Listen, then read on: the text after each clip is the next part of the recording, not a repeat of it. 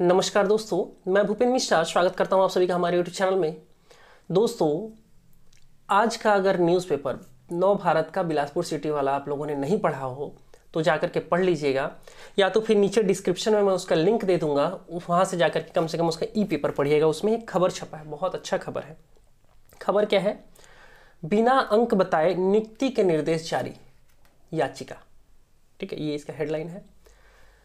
देखिए हमारा सी कुछ दिन पहले राजपत्र में एक प्रकाशित हुआ था सी को लेकर के कि अब संशोधित मॉडल आंसर नहीं दिखाएगा सी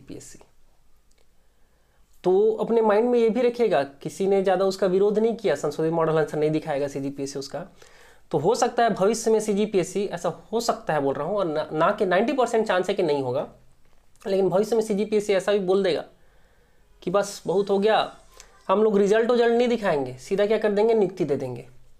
क्योंकि कि किसी प्रतिभागी को उतना ज़्यादा कोई मतलब नहीं होता है, सिर्फ़ और सिर्फ़ ज्वाइनिंग से मतलब होता है। जिनको मिलता है, ठीक है। जिनको नहीं मिलता है, वो ठीक है। संशोधित मॉडल आंसर ना दिखाना, वो एक बहुत बड़ा गलत चीज़ था। खैर, प्रतिभागियों ने उसका ज़्यादा विरोध नहीं किया। अब हम लोग आते हैं मेन जो इस समाचार है इस पर। इसमें लिखा है, छत्तीसगढ़ लोक सेवा आयोग द्वारा ऐसा पहली बार हुआ है जब बिना किसी को उसके नंबर दिखाए ही नियुक्ति के निर्देश जारी कर दिया गया है। मतलब देखिएगा, जो असिस्टेंट प्रोफेसर का जो एग्ज़ाम हुआ था, उसमें बहुत सारा चीज़ ऊपर नीचे हमको देखने को मिला था। क्वेश्चन पेपर में बहुत सारे प्रश्नों को गलत लिया गया था, बहुत सारा चीज़ था इसमें। ठीक है? तो नियुक्ति के लिए जनवरी 2019 को 27 विषयों में कुल तेरह पद निकाले गए थे और इसके साक्षात्कार भी समाप्त हो चुके हैं। हाईकोर्ट में सी ने हवाला देते हुए कॉमर्स और जियोलॉजी सब्जेक्ट वाले अभ्यर्थियों को उनके अंक नहीं दिखाए हैं। कौन कौन सब्जेक्ट है? कॉमर्स और जियोलॉजी जबकि वही कोर्ट ने अंक ना दिखाए जाने के लिए आयोग से जवाब तलब किया है और इन्हीं सभी विषयों को लेकर हाईकोर्ट में याचिका दायर की गई है। मतलब समझिए, आप एग्ज़ाम दे दिए हो, आपको कितना नंबर आया नहीं पता, इंटरव्यू हो गया, आपको कितना नंबर आया नहीं पता है, कुछ लोगों को सिलेक्शन भी मिल जा रहा है। कुछ लोगों को सिलेक्शन भी मिल जा रहा है, लेकिन आपका सिलेक्शन नहीं हो रहा है, लेकिन आपको नहीं पता है, आप हाईकोर्ट भी जाओगे तो किस आधार पर जाओगे?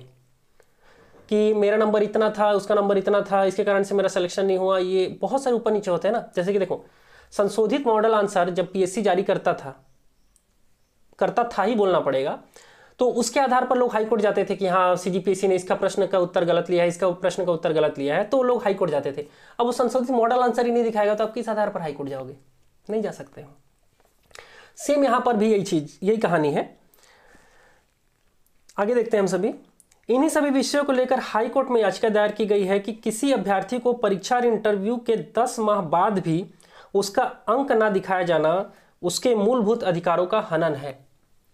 अब ये हनन है, अब सीजीपीएससी हो सकता है कुछ इंटरनल मैटर हो, किसी कारण से वो आप लोग प्रतिभागियों लोग को क्या लगता है, नीचे कमेंट करके बताइएगा कि क्या इंटरनल मैटर हो सकता है, क्योंकि आप सभी भी अपने आप में एक स्पेशलिस्ट ही है।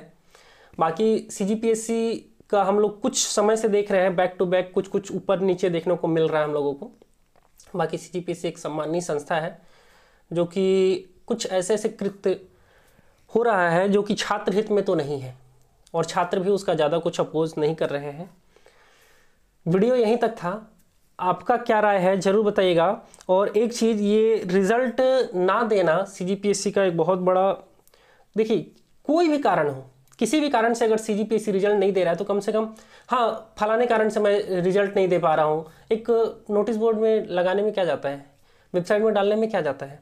इससे क्या होगा ना, छात्रों के मन में वो पारदर्शिता बना रहेगा।